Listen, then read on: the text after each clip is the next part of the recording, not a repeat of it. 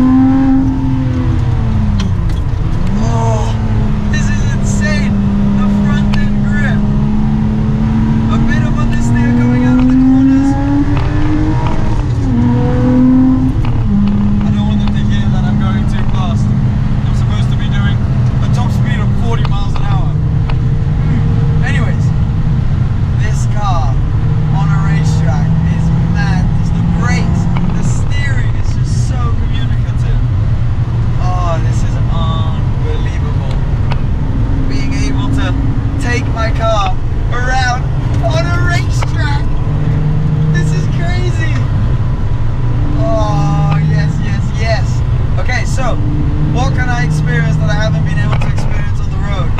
Well, first of all,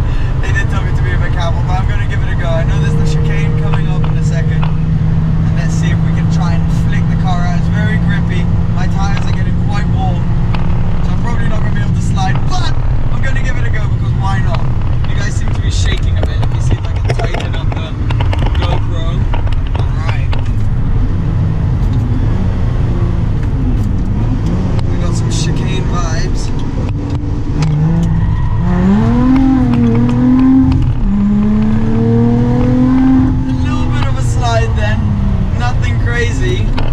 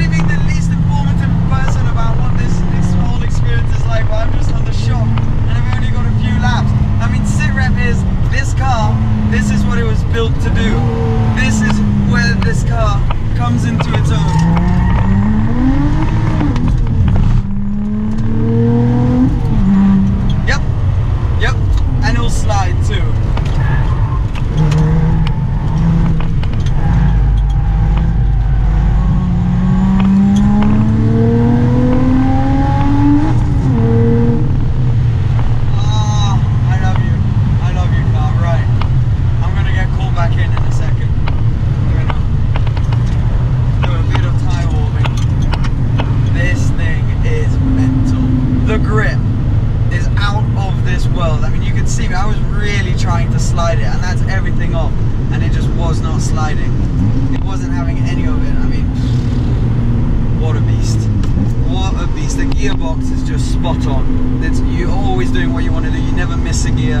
You can always put it exactly where you want it. The steering is telling you exactly how much grip you have. You can position the car exactly where you want it to be. The engine is just constantly there. You're never feeling short on power. If you want to accelerate, if you want to have more power, it's right there. You always feel like you're in the right gear. For a track toy, this thing is just unbelievable. Really, really, really unbelievable. I I like this car. I really like this car. But now having been able to experience it like this, it just makes so much more sense. It is just it's just brilliant. Yeah.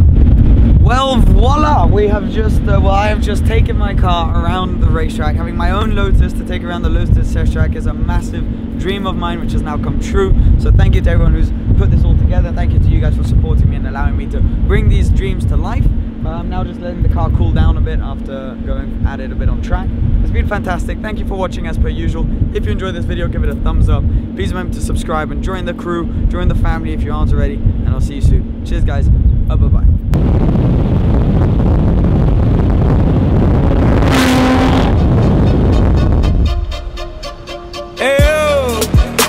Quit capsating, serenading them hoes. There's no Juliet.